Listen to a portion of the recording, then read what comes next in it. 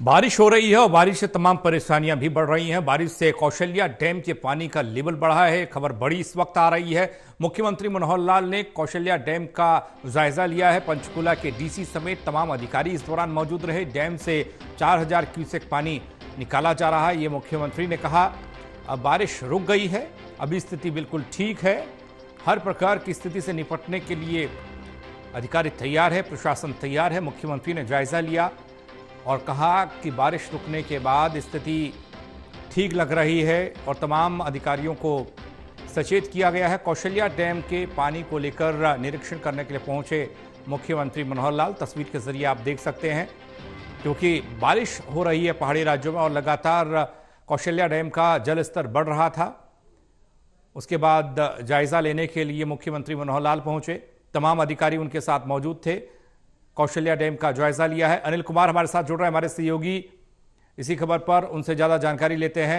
अनिल बारिश और बारिश से लोगों की परेशानियाँ बढ़ रही हैं, लेकिन कौशल्या डैम का जलस्तर बढ़ने से मुख्यमंत्री भी चिंतित दिखाई दिए और जायजा लेने के लिए पहुँचे। क्या कुछ दिखा, अधिकारियों को क्या निर्देश दिए? जी, पंकज जल स्तर का जायजा लेने के लिए मुख्यमंत्री मनोहरलाल खट्टर कौशल्या डैम पहुँच गए।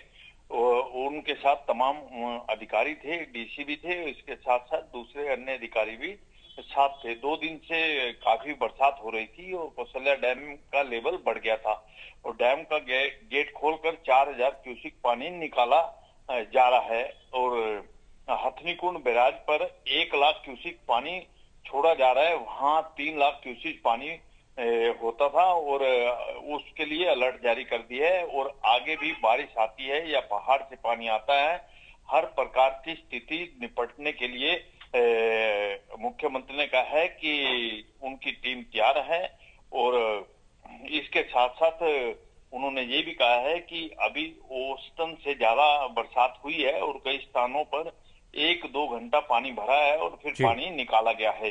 और इसके साथ साथ मुख्यमंत्री आम आदमी पार्टी पर भी निशाना साधने से नहीं चुके और उन्होंने कहा कि हरियाणा में बिजली की कोई समस्या नहीं है। हरियाणा में बिना मुद्दे के मुद्दा बनाया जा रहा है और जो आम आदमी पार्टी इसको लेकर मुद्दा बना रही है और उन्होंने ये भी कहा है कि यहाँ लोगों को बिजली जो है पूरी मिल रही है। हरियाणा में इनको कोई मुद्दा नहीं मिल रहा है इसलिए ये मुद्दा बना रहे हैं। जी चलिए, बहुत शुक्रिया आपका इस तमाम जानकारी के लिए अनिल। तो कौशल्या डैम मुख्यमंत्री मनोहर लाल पहुँचे हैं और उन्होंने जायजा लिया है क्योंकि डैम का जलस्तर बढ़ने से चिंताएँ बढ़ रही थी। हालाँकि उन्होंने कहा, बारिश अब कम हुई है और चिंता की कोई बात नहीं। आगे बढ़